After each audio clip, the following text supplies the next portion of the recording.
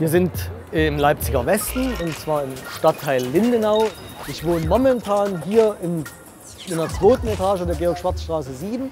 Die Georg-Schwarz-Straße ist eine sehr interessante Straße. Sie war vor vier, fünf Jahren äh, eine Straße mit sehr, sehr schlechtem Neumund und hohem Leerstand. Und in den letzten Jahren ist hier ziemlich viel passiert. Ich bin Roman Grabolle. Ich wünsche mir für Leipzig, dass Leipzig nicht das neue Berlin wird. Vor vier, fünf Jahren fing eben dieser Hype um Leipzig an und Leipzig ist natürlich dann die, sozusagen die Essenz aus dem Hype um Leipzig. Also dieser Ruf, es gäbe noch Freiräume. Es wäre hier so wie in Berlin in den 90er Jahren mit ganz vielen wilden Clubs und alles ist möglich und man kann machen, was man will.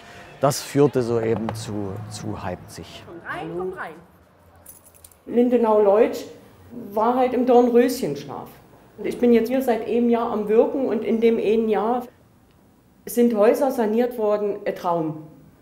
Ich hoffe nur, dass dieses Geldbürgertum nicht wieder alles versaut.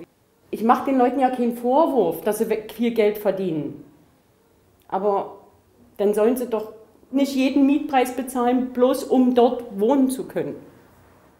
Wo eben die wohnen, die es nicht leisten können. Und durch diese Verdrängung das Klimaverderben. Leipzig kommt aus einer Phase mit äh, sehr hohem Wohnungsleerstand und sehr günstigen Mieten.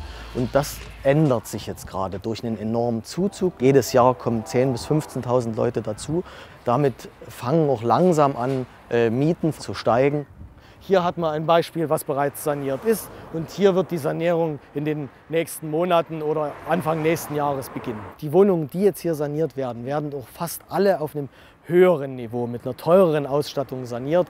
Entsprechend teurer sind auch die Mieten, sind ungefähr doppelt so hoch. Und das hat natürlich auch äh, Auswirkungen, wer kann da zuziehen oder wer kann diese Wohnungsangebote nutzen. Wichtig wäre aber trotzdem, dass Leipzig eben nicht das neue Berlin wird, und nicht in fünf Jahren so aussehen soll wie Berlin jetzt, mit massiver Verdrängung von Mieterinnen, mit steigenden Mieten, mit einer steigenden Zahl von Zwangsräumungen. Ich wünsche mir für Leipzig, dass Leipzig eine Stadt für alle bleibt, unabhängig von der Herkunft oder vom Einkommen und dass auch möglichst viele von diesen Freiräumen, die auch diesen Ruf von Leipzig ausgemacht haben oder dieses Bild von Leipzig geprägt haben, noch lange und möglichst für immer erhalten bleiben.